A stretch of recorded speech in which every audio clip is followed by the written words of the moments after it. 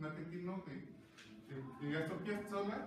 Eh, Piazzolla fue, eh, fue quien, quien innovó en este género. Eh, estudió en París y eh, fusiona lo que es el tango, con, tanto con la música culta se puede llamar, y, y también con el jazz. Fue muy, fue muy criticado por los este, tangueros conservadores, pero eh, al día de hoy es uno de los grandes este, compositores del, del, tango.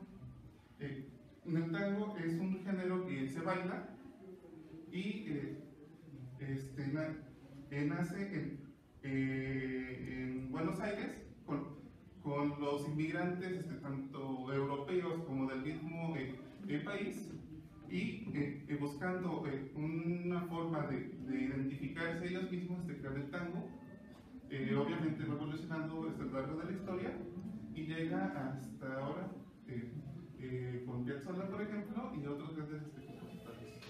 El, este tango se, se titula Tango está en la, tonalidad de Re menor.